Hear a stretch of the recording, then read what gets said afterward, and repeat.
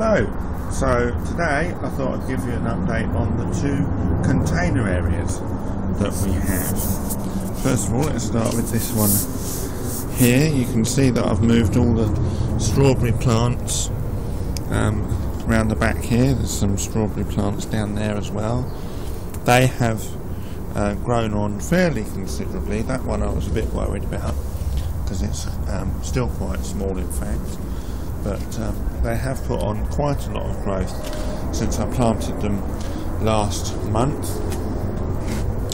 These two new herb plants, that's a Welsh onion and um, what's that one? That's a broadleaf sage. They haven't really changed very much, but you know they're perennials. So, and this needs to be sorted out, I think.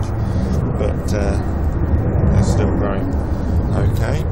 We have this new box, this new toolbox. There's some baby leeks from last year still. Um, so yeah, the toolbox is going to replace that thing right at the end there, the shed, which is going to come down um, at some point uh, in the uh, near future. Now you can see these are a very big success story I think. These peas which I sowed on uh, whenever it was, the 1st of January or something like that. Um, the cling film has come off now because they needed to be set free and you can see they're growing really quite well.